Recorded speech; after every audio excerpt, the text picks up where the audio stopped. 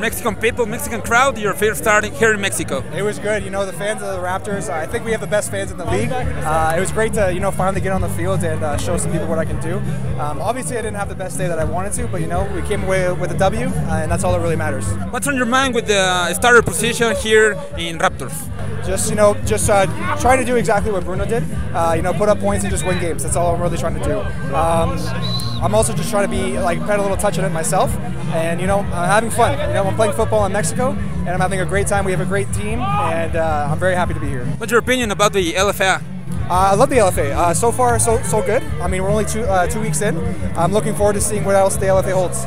And what what about your your, your game? It's, you know, everyone has their on and off days. Um, I'm, I'm a really firm believer in learning from your mistakes. Uh, obviously, I have my ups, I have my downs, and all I can do is just come back next week and just do better. What's next for you? You know, just uh, watch the game film from today, learn from my mistakes, and come come back next week and just uh, be a better quarterback.